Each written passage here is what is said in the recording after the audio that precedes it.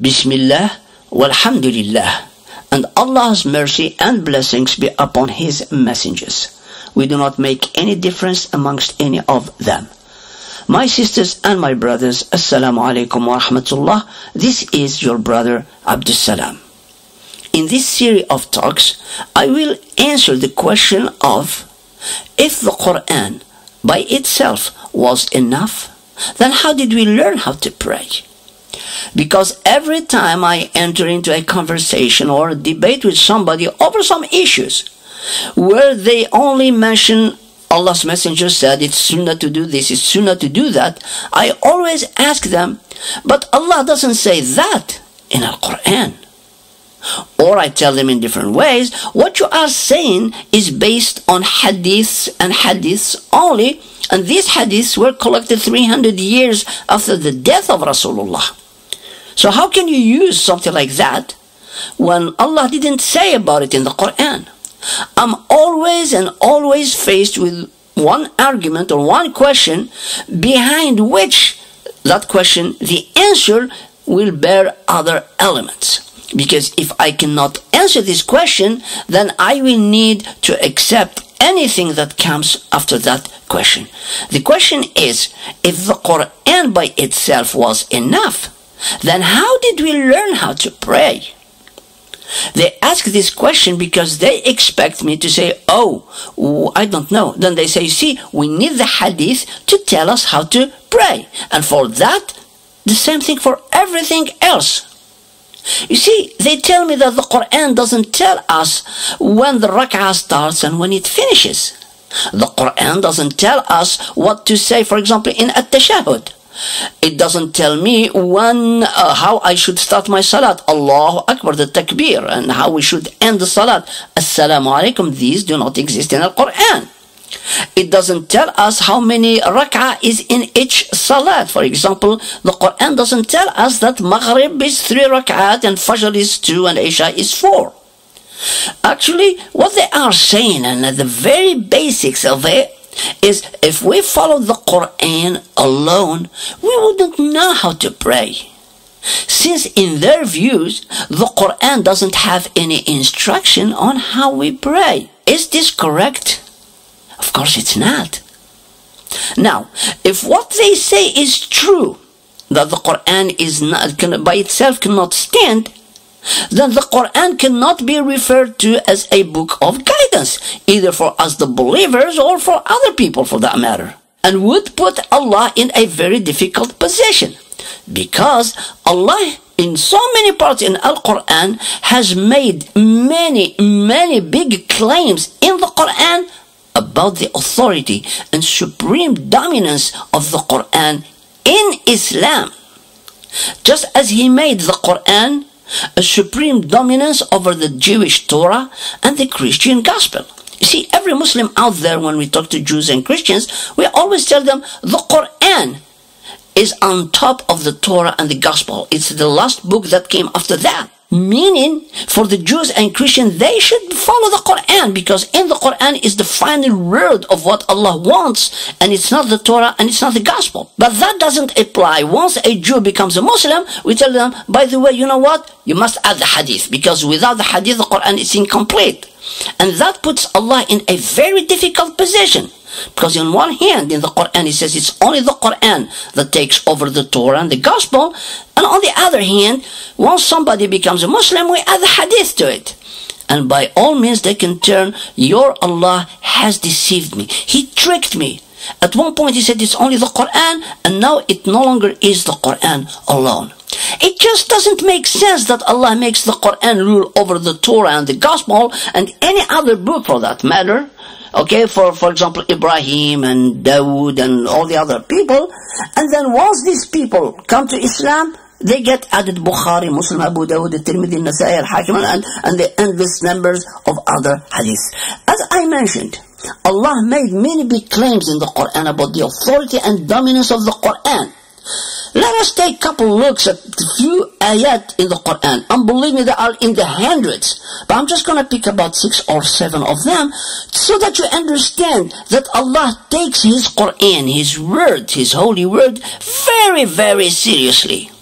And because in the way the Muslim majority today thinks, is they think that if the Quran by itself is not enough, how did we learn how to pray? It actually is an attack in what Allah claims. You see, in Al-Quran there are three types of claims claims that have passed. For example, Allah subhanahu wa ta'ala is the sole creator of the universe and He's the creator of the heavens and the earth. Nobody has ever come and said, you know what? I can create, I'm the creator of heaven and earth. Because the simplicity of it will tell them, go ahead, create another heaven and earth. Nobody can. But Allah says, I created. And that's the end of it. Allah demolished and punished Ad and Thamud. Allah made Pharaoh drown. All these are claims, historical claims made by Allah. No one has come to challenge Allah subhanahu wa ta'ala about that. There are claims that shall come. For example, the end of the world, the accountability on judgment day, paradise, hellfire, and all these will come to pass and they will happen. And these are claims made by Allah. He told us in the Quran how they're going to happen and they will happen. And Allah then made the third claim about certain things, and I am not going to speak about them, I'm just going to speak about the Quran such as the authenticity of the Quran. Allah made claims about this in the Quran. The authority of the Quran. Allah made claims about this in the Quran. The uniqueness of the Quran as the law. Allah made claims about this in the Quran. The Quran is the only guide that will lead us to Allah. The Quran is the only guide that will lead us to the straight path that leads to Allah. That is the laws of Allah subhanahu wa ta'ala. And I will mention here a few claims that Allah made about the might and power and authority, total leadership of the Quran. Just like Allah doesn't accept anyone to be associated to Him. He also does not accept any other law to be associated to what he says. If Allah has forbidden fornication, Allah will not accept that somebody else will come and make fornication halal. It just doesn't go with what Allah. So if somebody comes to Allah on judgment day and says, oh, XYZ said that fornication is halal, Allah says, I said that in Al-Quran and my authority rules. So Allah does not accept somebody like Jesus, for example, to be made a son of God. He also does not accept that somebody else brings a law that contradicts the Quran and makes it a law. So let us look at the first claim that Allah made. And this is at the very beginning of the Quran in Surah Al-Baqarah in the ayah number 2 where Allah says ذَلِكَ الْكِتَابُ لَا رَيْبٍ The book, i.e. the Quran that we have with us today without any shadow of doubt فيه هدى للمتقين in it is a guidance for the godly for the pious people since Allah didn't mention any other thing with the Quran, the Quran by itself is the book of the guidance to the muttaqin, to those who fear Allah, to the godly people, to the pious people. If the hadith or the sunnah was part of this guidance, then Allah would have said, those books in front with you are guidance. But Allah no. Allah speaks about the Quran and the Quran and He says no shadow of doubt about this. See, when they added other things to the Quran, they made this ayah invalid because Allah speaks about one book, the Quran, but they made Islam so many books. So this is one claim. And the Quran, by, by the way, is a book authored by Allah. It's Allah who spoke it, Allah who decided how it is designed, what should go into it, what shouldn't go into it, and it should be accepted as Allah intended, not as we intend. That's why Allah makes somebody consider someone as a disbeliever. أفتؤمنون ببعض الكتاب وتكفرون ببعض? Do you believe in part of the kitab, the book, and you disbelieve in the other part? Allah considers anyone who takes part of the Quran as they like and rejects other parts of the Quran as they dislike as disbelievers. So you really, really want to be extremely cautious about this point here. Claim number two. Allah says, هذا, this, this, the Quran. So Allah is going to introduce to us what the Quran for Allah means. He says, هذا بيان للناس. This, the Quran is a بيان للناس. In other, in the sites where they translate this bayan, they say it's a plain statement for mankind. It's an evidence for mankind, a plain exposition for, for people, a clear lesson to people, a declaration for mankind, a clear statement to all the people. But uh, the, the meaning that I consider and I feel is closer to what Allah wants is a clarification to people. Because in Arabic, bayyana is to clarify something to somebody else. So Allah says this Quran, this book, هذا بيان للناس is a clarification to people. And then he adds, وهدى, i.e. the Quran is a guidance وَمَوْعِظَةٌ لِلْمُتَّقِينَ and a warning advice for the godly pious. So the Quran is a book of clarification. Clarifies what? What's halal and what's haram, as we shall see in a little bit later, and is a guidance to both the pious and to people who are don't know who God is. We give them the Quran, it will lead them to Allah, just like when we read the Quran, it will lead us to what Allah wants, the halal and the haram of it, and also is a warning advice for us against what we are going to expect on Judgment Day. Claim number three that Allah made. Inna anzalna Torah. Surely we have sent down the Torah, the Torah, that is the book that was sent down to Musa salam, to the Jews. فيها هدى ونور. In the Torah, until our days today, there is a guidance and light in it. Couple ayat later, and this was revealed in Surah Al-Ma'idah. Surah Al-Ma'idah is the last of the very last Quran that was revealed. 90 days after the revelation of this surah, the messenger died. It kind of like it summarizes what Allah wants from us. And that's why in Surah Al-Ma'idah, Allah calls upon the believers 14 times. Ya ayyuhalladhina amanu. Subhanallah, it's, it's uh, one day inshallah we'll discuss this surah. It's incredible. So here Allah is telling us in the last, at the end, in the last three months of, in the life of the messenger, Allah tells us that He has sent down a Torah, and in it is guidance and light.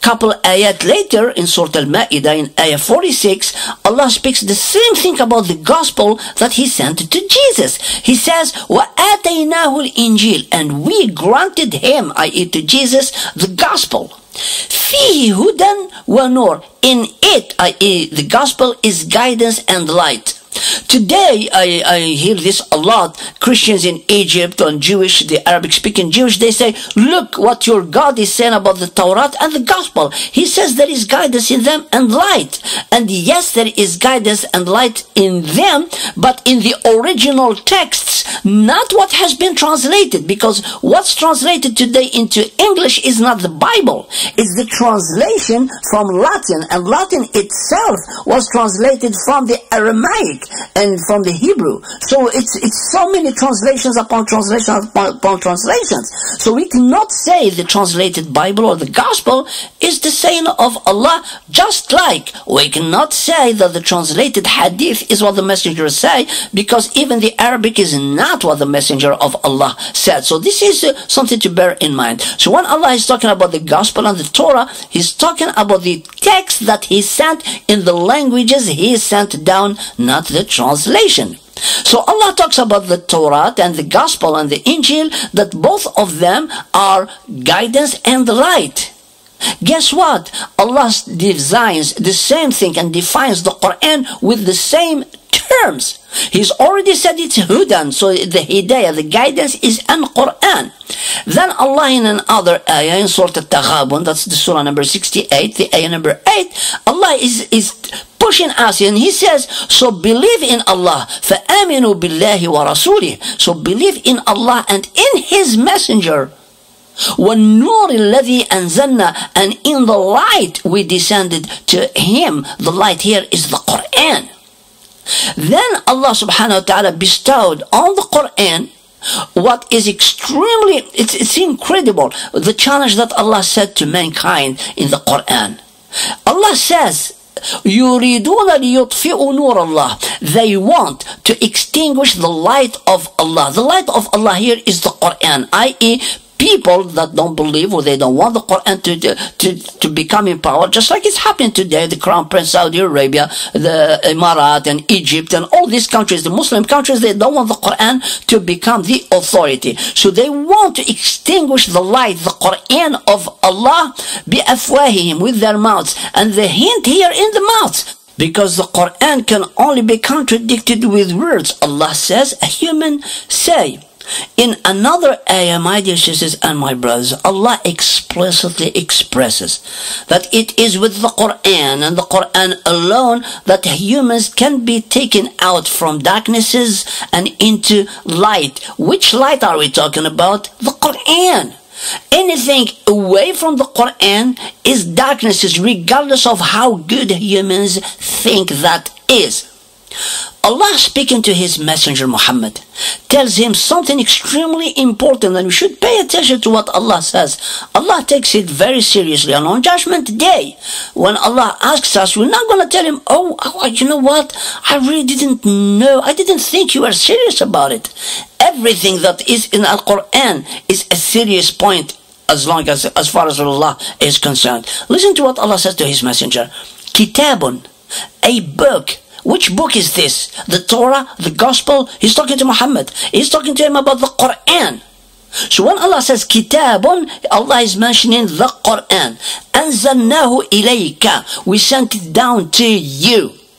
لتخرج الناس. To exit people. To take them out. To take people out. من الظلمات.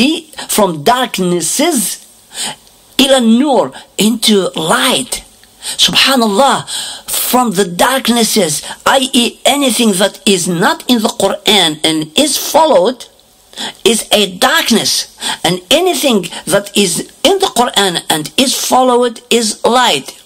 If guidance and the rituals of Islam were also in the hadith, then Allah should have said to Prophet Muhammad that those books we revealed to you, and with that we have the Quran and all the other books. But no, Allah chose this book, هذا الكتاب كتاب. My dear sisters and my brothers, it's not this ayah, one ayah, and it's not ten, it's not hundred, and it's not five hundred ayat. The amount of the ayat in the Quran which speak how much Allah praises the Quran, how Allah puts this Quran in an incredible position. It's almost in each of the 6,000 ayats that speak the glory and magnificence of Allah's Quran. But somewhere somebody had decided that the Quran by itself wasn't enough. And here we are today, the majority of Muslims around the world and for the last 1400 years aren't aware of the exclusivity of the Quran in Islam. Someone might ask the question, what, for the last 1400 years no scholar has ever paid attention to this except you? Well, I say no, because for the last 1400 years, the huge 99% of the Muslim population were ignorant people. They solely relied on what is told to them.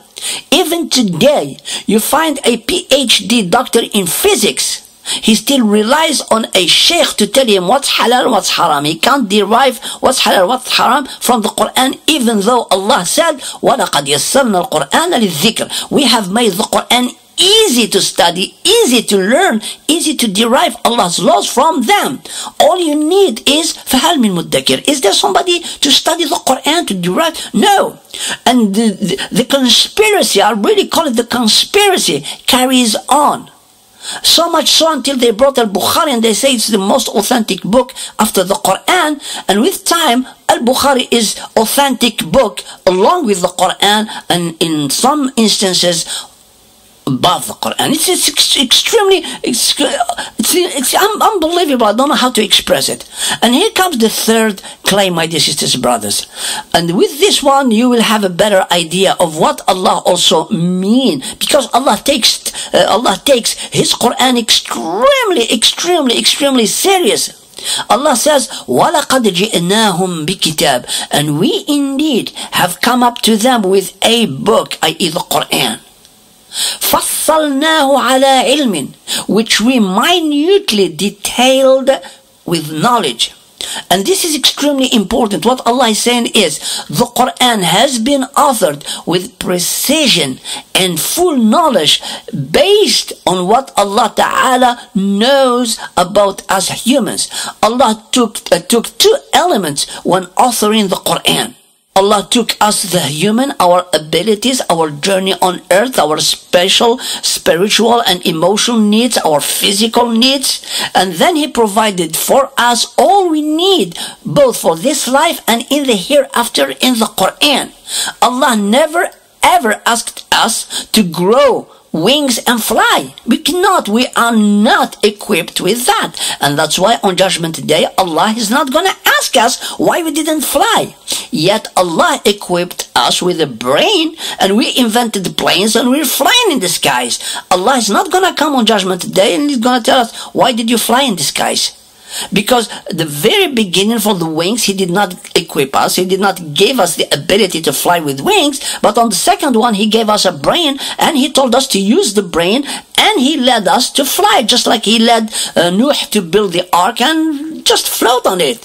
So th- these are Allah. It, See, Allah is an expert in taking this into consideration. And the second element is He tailored the Quran to fit those needs, those human needs. Allah specifically used the word fassalna. A tafsil or tailoring is say you want to get married or your sister or someone wants to tailor a suit. You go to a tailor, you take a piece of clothing and you ask the tailor to design a dress or a suit for you. What is, what's the tailor gonna do? He's to take your measurement and then he will design a suit for you. Allah spoke of the Quran that he tailored it for humanity. Imagine we, the Quran, piece of clothes, Allah is to make a dress for us. That dress is to take us from the darknesses into light. The only book that Allah spoke of like that is the Quran. Not the Hadith, not Bukhari, not Muslim, not what scholars say, not, not, not, not. Only the Quran. And this is what Allah subhanahu wa ta'ala exactly did based on how previous human behaviors with his books, the Torah, the Injil and everything, Allah designed the Quran. He changed laws, He added laws, He upgraded laws, He downgraded uh, laws so that people, humanity can be better because we humans, like children, we keep growing. And knowing the nature of the upcoming generations, Allah subhanahu wa ta'ala ensured that the Quran responds to all of our needs. This is why Allah says that the Quran is also a hudan, it's a guidance. So the Quran has been minutely detailed with knowledge, and Allah made this Quran, this minutely detailed book, a guidance and whoever follows the Quran will reach وَرَحْمَةً لِقَوْمٍ يُؤْمِنُونَ and a mercy for people who believe. And then for the people who do not take the books of Allah, specifically we Muslims, you're talking about the Quran, who don't take the Quran seriously, Allah says, ask them a question. هَلْ يَنظُرُونَ إِلَّا تَأْوِيلَهُ do they wait for the fulfillment of its warnings, i.e. the punishment promised by the Quran, by Allah in the Quran? Then Allah says, يوم يأتي تأويله, the day the Quran's prophecies become real, on that day, يقول الذين نسوه من قبل, those who had pushed the Quran behind them, who ignored it, they will say on that day, قَدْ جَاءَتْ رُسُلُ رَبِّنَا بِالْحَقِّ The messengers of our Lord did indeed come with the truth. Yes, the messengers, because the Quran is the summary of all books that all messengers came with. It's personified in Al-Quran. And then Allah subhanahu wa ta'ala says, uh, on what people will say on Judgment Day, فَهَلْ لَنَا مِنْ شُفَعَاء فَيَشْفَعُ لَنَا Are there any intercessors, any saviors that might intercede, that, made, that might save us? Of course, the Jews will speak about uh, Musa, the, the, the Christians will speak about Jesus, we will speak about, each people will speak about their messenger. But for us, the Muslims, the believers, those people who on Judgment Day, you see, on Judgment Day, the Messenger of Allah will hold the Quran in one hand, and this is the only time that the Messenger of Allah will speak uh, freely. And then he will be called to witness There is no intercession and there is no of that thing like the Prophet Muhammad becomes a second player on Judgment Day. Put this one in hellfire when Allah says, oh, put this one in hellfire. The Prophet Muhammad comes and goes, no, please don't do that, please. And then Allah says, okay, don't put him in hellfire. Doesn't happen like this. The Quran doesn't say this. This is what the Hadith says. This is what other people say. The Quran doesn't say, doesn't the Quran say in Al-Fatiha that Allah is the king, is the owner of Judgment Day? He decides, yeah, the king, he decides. He doesn't need, he doesn't take any input from somebody else. But what is going to happen is the Prophet Muhammad on Judgment Day will hold the Quran in one hand. And we Muslims, we will stand on the other hand, on the other side, and he will point at us and he will say, Ya Rabbi, my Lord, inna qawmi, my people, and pointing at us, ittakhadu, they have deliberately taken this Quran, هذا Quran, this Quran, then he points to the Quran, mahjuran. Not only did we abandon the Quran, we're doing everything in our capacity to not listen to the Quran, to abandon the Quran. And this is the only time where the messenger is going to speak and he's gonna witness against that. And that's why Allah is threatening us. Anyone who doesn't follow the Quran today is not taking the Quran seriously today and expects on judgment day to have it easy ain't gonna happen. So on that day, Allah says, يَوْمَ يَقُولُ الَّذِينَ نَسَوْهُ مِنْ قَبْلِ Those who will say, on Judgment Day, those who have pushed the Quran, ignored it and everything, قَدْ جَاءَتْ رُسُلُ رَبِّنَا بِالْحَقِّ The messengers of our Lord did indeed come with the truth. فَهَلْ لَنَا مِنْ شُفَعَاء فَيَشْفَعُ لَنَا Can we have intercessors, saviors that can help us, save us? أَوْ نُرَدْ Or that we might be returned to life. فنعمل غير الذي كنا نعمل so that we do other than what we used to do that we used to act and then Allah issues the ruling on them قد خسروا أنفسهم they have lost their own selves وضل عنهم ما كانوا يفترون and all that which they used to invent in this life will fully abandon them. Do you think Al-Bukhari will come on judgment day and say, Ya Allah, uh, uh, I wrote the Al-Bukhari based on the revelation? Al-Bukhari on judgment day will run away and he will say, I'm innocent. I never said what, it's them who made me. I never said this and that, my dear sisters. The dangers are great. Now I go to the fourth claim. Allah speaking again to, to disbelievers and to us within them. أَفَغَيْرَ اللَّهِ أَبْتَغِي حَكَمًا And this is also the messenger speaking. Is it other than Allah I should seek as a legislator? Yes, it's Allah who legislates.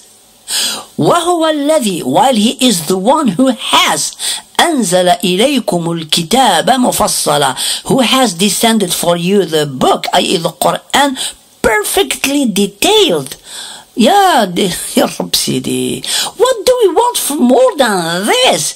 Allah has sent down the Quran perfectly detailed in the Quran. Allah who has what He wants from us. Subhanallah. In Surah An-Nur, for example, yeah, just to give you an example, yeah, we, we, we, always are told that we should all eat from the same plate. There is barakah in this and there is that, right? Nonsense, because Allah in the Quran says, "Laysa alaykum junah." There is absolutely no blame on you. Either you eat together or separate. So the Quran gives us the option: eat alone, eat together. But the Sunnah, as they say, the Hadith tells you no. If you eat separate, Shaitan is on you. If you eat together, you are united. Complete nonsense. And this is just one example of millions of examples how the Sunnah contradicts the Quran and people today follow قال Rasulullah, the Messenger of Allah said, it is Sunnah as opposed to Allah said, the Quran says. Take me to the fifth claim, and here it is. And this one is about Allah's one order to His messenger for the rest and entire life of that messenger. As long as he lives, Prophet Muhammad was only commanded one thing as when it comes to the Quran. اتبع closely follow ما أوحي إليك من ربك what has been revealed to you from your Lord. Prophet Muhammad is the first man to be a Qurani, to be a man who believes in the Quran. Because all his life, what did Muhammad follow? He followed the Quran. He didn't follow his own sunnah. It's impossible. He followed the Quran. And Allah says, La ilaha illahu, there is no deity except Him. And since there is no deity except Allah, the only one to issue commands in this religion is Allah. And then Allah commands His Messenger, He goes, وَأَعْرِضْ عَنِ الْمُشْرِكِينَ And turn away from those mushriks, those who join other gods with Him. Meaning, had the messenger followed anything else but Al-Quran, what Allah revealed to him, in the sight of Allah, he would be considered as a mushrik, as an associator to Allah. You know what this means, my dear sisters and my brothers? Anyone who follows any other laws not in Al-Quran is a mushrik. A full stop.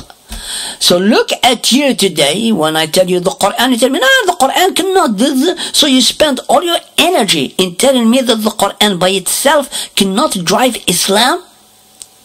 It is, it is an incredible, and you will see at the end of this talk that Allah did tell us how to pray, that Allah did explain in details how we perform a salat, that Al Quran did not let us down, but it is the ignorance of people who has let us down.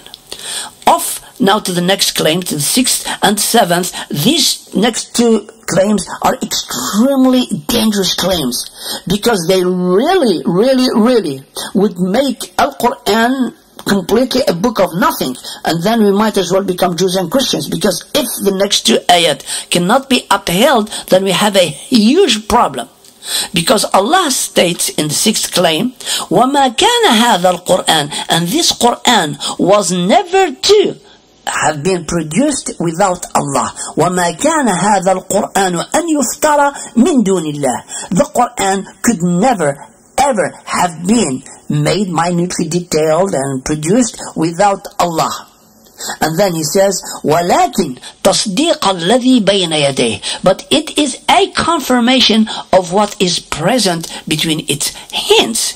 In other words, the Quran is a proof. You see, when Prophet Muhammad came to people and he says, I'm a messenger, People say, well, what makes you a messenger? What's your evidence? What's that? The Quran came to prove that Muhammad was a messenger.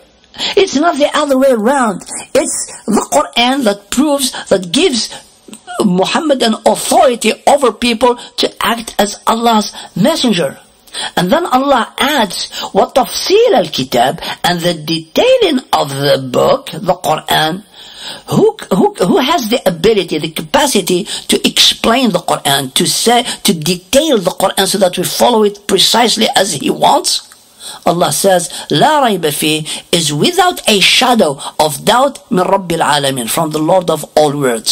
So I want you to pay attention to this ayah. وتفصيل الكتاب and the detailing of the book is without a shadow of doubt from the Lord of all words. I will again say it one more time and the detailing of the book, i.e. the Quran, is without a shadow of doubt from the Lord of the worlds. And this is in Surah Yunus, that's Surah number 10, the ayah 37. In other words, the one who has detailed the Quran is Allah. This is why it is impossible for the Prophet Muhammad to have added to Allah's religion. How could the Sunnah explain the Quran when Allah says that the Quran has been detailed by Allah Himself? I don't know how we can explain this. Because once I say, oh, the Quran by itself is not enough, then all the, the claims that I have mentioned here cannot stand. And as I said, I'm just mentioning seven. I could have mentioned 700 of them, wallahi, easily, without any shadow of, uh, like, oh my God, it's too much, or where am I going to find the next ayah? It's, it's ayah after ayah after ayah after ayah after ayah after ayah. Let me take it to the seventh so can we, can proceed. As I said in the previous six ayat that I mentioned before, Allah praised the Quran and at one point He even said that this book has been explained and detailed expertly by Allah subhanahu wa ta'ala. But in the next ayah that I'm gonna mention here, Allah puts His self, His holy self, and His Quran in the same equation and as such, the fall of the Quran would inherently and imminently mean the fall of Allah Himself. It's like you say to somebody, my word, my word is my bond. i.e., if my word gets broken, I get broken. So Allah is telling us the Quran is my bond. If the Quran is not enough, then I am not enough. If the Quran is not sufficient, then I haven't done a good job. And here is what Allah says in the Quran. Kitabun, he goes back again to Kitabun, a book, and here he refers to Al-Quran. أحكمت آياته which ayat have been well perfected ثم فصلت من لدن then detailed from the one who is an absolute manager حكيم خبير an absolute manager fully acquainted with all things this is uh, uh Surah Hud Surah number 11 ayah 1 I repeat a book which ayat have been well perfected then detailed from the one who is an absolute manager fully acquainted and then, how, what do we expect from this? Allah authored the Quran and detailed it to respond to the needs of everyone that comes in contact with it. But the believers today in the Quran are challenging Allah by making such statements as, if the Quran by itself was enough, how did we then learn how to pray? Subhanallah, it's, it's incredible. Uh, it's, it, and then they tell you reading the Quran, one letter, you get 10 rewards and you get this. Uh, and then they ask these questions. It just doesn't go. It's incredible. My dear sisters and my brothers, I believe the seven ayat from Allah's Quran that I mentioned here should be more than enough to give you an idea how serious Allah takes the Quran. That Allah subhanahu wa ta'ala has made the book, i.e. the Quran, contain all what Allah wants from us. And Allah put a huge emphasis on the Quran being the de facto driving force behind Islam and none else. Now I want to go back to our points and answer the following question. If the Quran by itself was not enough, now how did we learn how to pray? As I have already said, my dear sisters and ah, my brothers, if the Quran cannot tell us how to pray, then we might as well become Jews and Christian. At least these two are denominations from the Abrahamic religion, and they don't have the, the Torah and the Sunnah of Musa and the Sunnah of Jesus and the Sunnah of this and the Sunnah of that, and that's it. We live in dangerous times and we live in a very, very dangerous times and such situation where people ask you the question, uh, if Allah, uh, if the Quran is enough by itself, how can we learn to pray and things like that? It's, it's incredible. This situation is beyond incredible.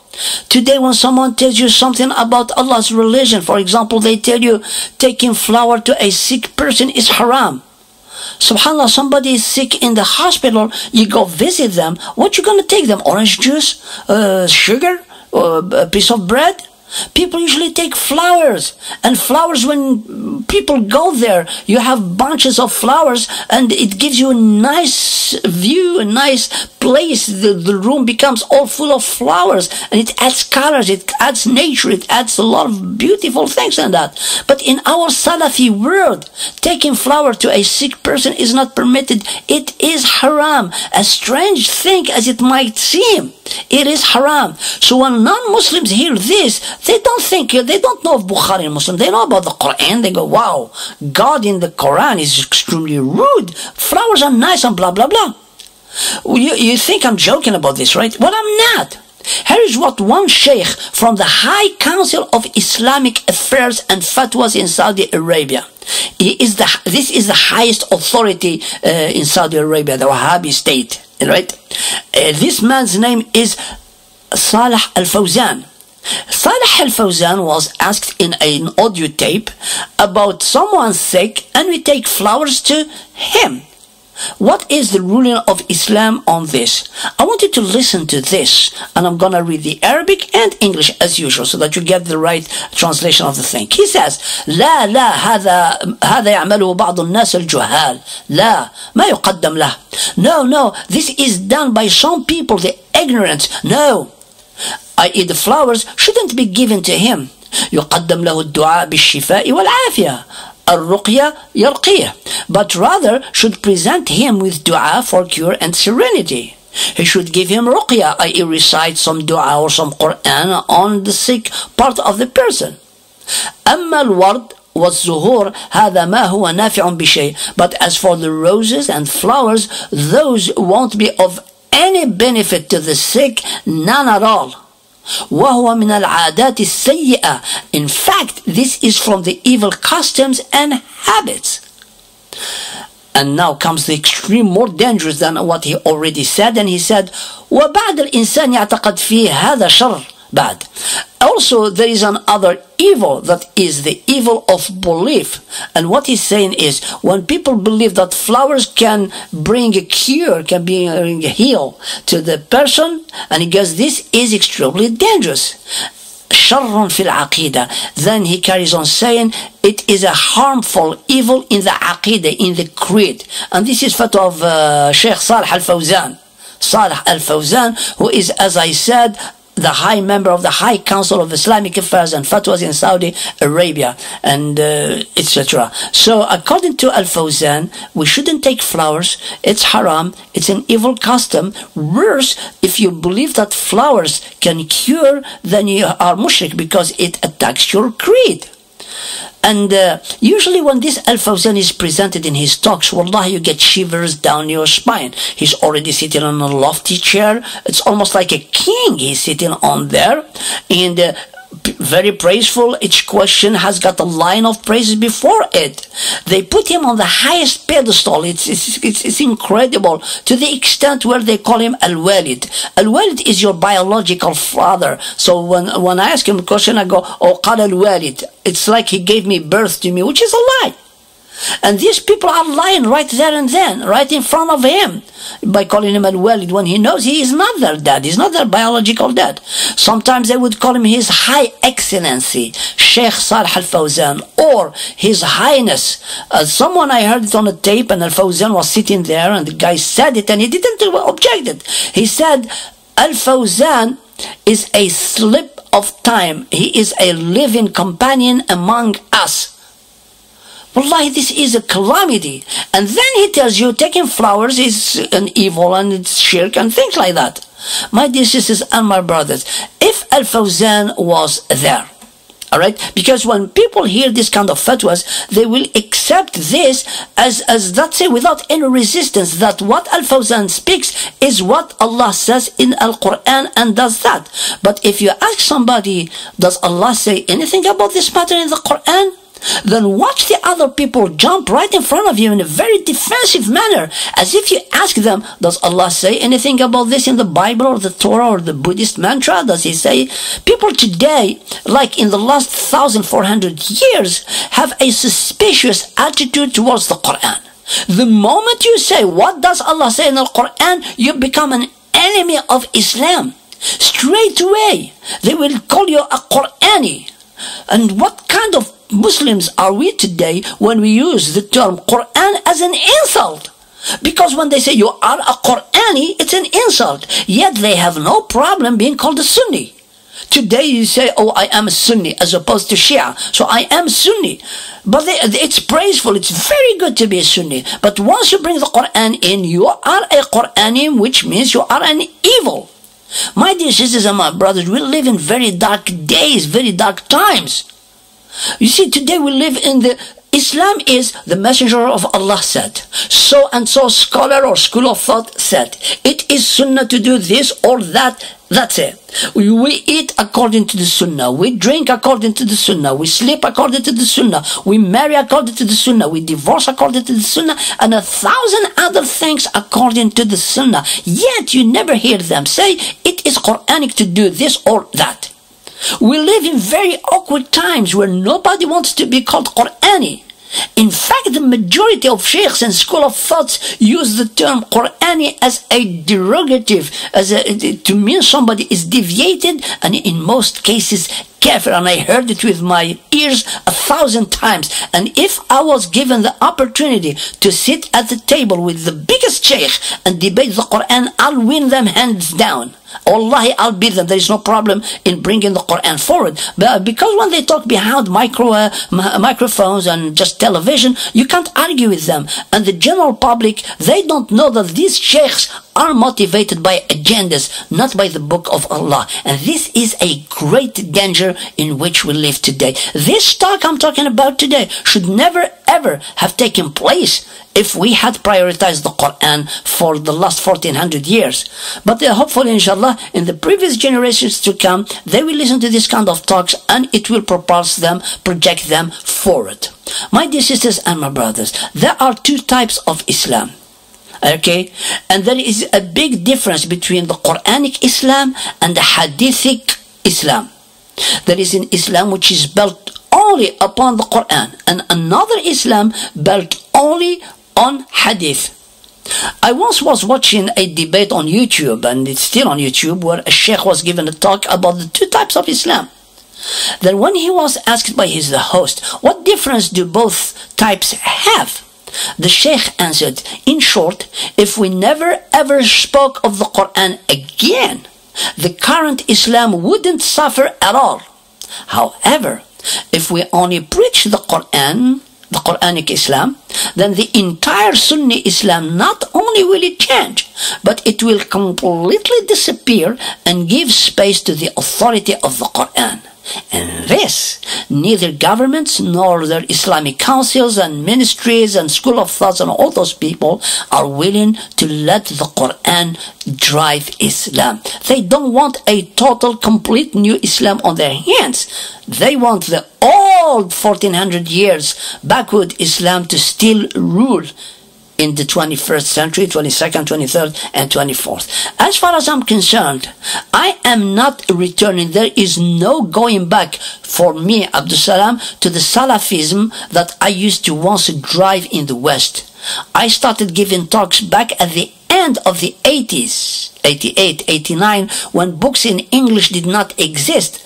My talks used to be promoted, my tapes used to be promoted because I spoke English. And back then, there was a huge thirst about Islam in English. And it's sad that I helped push the Salafism, the Sunnah Islam and I wish I had known better back then, but it's an experience and today it's helping me build this new appeal to bring the Quran forward. I am never ever going back to the Islam belt, as I said, upon hadith, to the Islam belt upon the school of thoughts and argument between the sheikhs, to the endless battles about the authority of this or that hadith, which one is stronger than the other, to the endless fights justifying hadiths when they contradict each other. You get all kinds of mechanics, the sheikh mechanics to try to fix the hadith, to the clever takes it all approach. Anyone who is clever in the argument they provide will win the argument to listening to the sheikhs that are accepted, promoted, and pushed by kings only. If Ibn Uthaymin says what the uh, kings want, Ibn Uthaymin is put in front of, and he will preach the Islam that will make the kings and rulers at ease. Today there is an Islam that is being promoted by the Salafis where they and it's on YouTube. You go, you can go there, and where he says, "Oh God, if the ruler, if the king of whoever is gets every day, lifetime on a television where he fornicates, he, he actually is having sex with a woman naked and drinks wine on television. We, the people, cannot revolt against him and we should make dua for Allah to guide him. This is the kind of Islam they want, and this kind of Islam is not supported by the Quran. I want to tell you a story that Ibn Kathir reports in his book Al-Bidayah and Al-Nihaya, the beginning and the end, and in volume 7, when he talks about Al-Qadisiyah battle. The Qadisiyah battle is a battle that took place in the 15th year, the Hijri year, under the leadership of Umar against the Persian uh, Empire and that's a battle that the Muslims won. And since then, the Persian Empire, which is today Iran, uh, never ever really uh, took, uh, went back to power after that. Rabi'i ibn Amr, this story is told and it, it, it's told like to show the grandness and how big Muslims were and how proud and all that kind of stuff. But at the same time, it, it acts on the other hand against uh, the, the Hadithic Islam. Ibn Kathir tells us the story. Okay? that Rabi'i ibn Amr went to meet up with Rostam. Rostam being the supreme Persian general. He was the army commander, the high, like the minister of defense today or things like that, okay? Rostam asks Rabi'i ibn Amr, the companion, and he tells him, what brings you and your armies to us?